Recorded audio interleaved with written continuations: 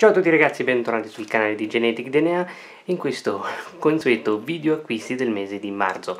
Quindi iniziamo subito con il primo acquisto che ho fatto per PlayStation 4 che ho fatto anche l'unboxing che è praticamente di eh, Infamous Second Sun. Tra l'altro mi hanno riferito che la console dovrebbe arrivare intorno al tra il 7 e il 9 aprile quindi magari sparerò subito qualche gameplay. Chiedo scusa ai canali che stanno facendo adesso questo gioco che, sto che non sto seguendo questo tipo di gameplay perché non voglio perdermi la sorpresa, ma appena eh, ci ho messo le mani inizierò a seguire anche i canali. Poi ho fatto un recupero per PC, ovvero Batman Arkham City Game of the Year Edition, quindi adesso per PC li possiedo tutti e tre.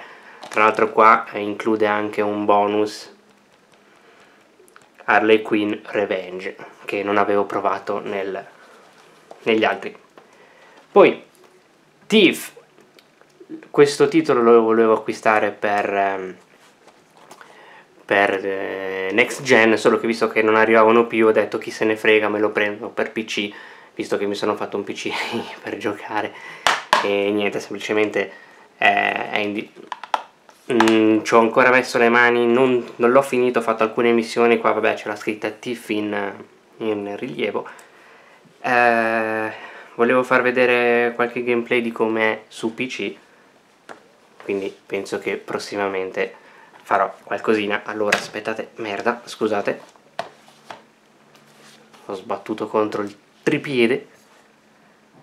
Poi per PC, sempre per PC, ho recuperato Dark Side Complete Edition che praticamente come potete vedere eh, ci sono i primi due più i DLC vabbè adesso voi lo vedrete scritto in tedesco ma comunque è multilingua.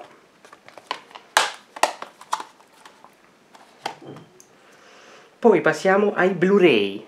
Allora i Blu-ray ho fatto un doppio recupero di Cattivissimo Me. Ho preso praticamente Cattivissimo Me 1 e 2 che semplicemente hanno fatto una specie di rilegatura di rilegatura e all'interno ci sono i due cattivissimo me. Chi non l'ha visto veramente lo guardi perché soprattutto a chi piace questo genere di film d'animazione è veramente fantastico.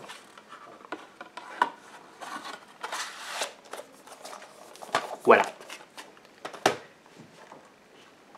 Poi ho recuperato Hunger Games la ragazza di fuoco che sarebbe il 2 praticamente. Cioè recuperato preso perché è uscito adesso anche questo molto bello. E infine un film veramente stupendo che è Rush, la storia di questi due piloti, Ant e Niki Lauda.